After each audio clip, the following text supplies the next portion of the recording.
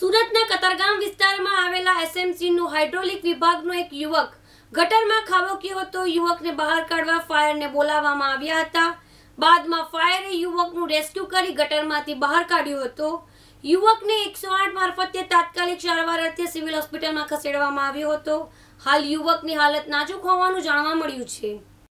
કતારગામમાં આવેલા પાલિકાના હાઇડ્રોલિક વિભાગમાં આવેલી પાણીની ટાંકીમાં કોઈ યુવક પડી ગયો હોવાનો ફાયર વિભાગને કોલ મળ્યો હતો, જેથી ફાયર વિભાગનો કાફલો ઘટના સ્થળે દોડી ગયો હતો. ત્યારબાદ રેસ્ક્યુ હાથ ધરી યુવકને બહાર કાઢ્યો હતો. ફાયર ઓફિસરે જણાવ્યું હતું, આ યુવક છેલ્લા ત્રણ દિવસથી આ પાણીની ટાંકીમાં પડ્યો હતો. પ્રાથમિક તપાસમાં યુવકની માનસિક સ્થિતિ સારી ન હોવાનું સામે આવ્યું છે. હાલ યુવકને પાણીની ટાંકીમાંથી બહાર કાઢી એકસો આઠ મારફતે સારવાર અર્થે હોસ્પિટલ ખસેડવામાં આવ્યો છે.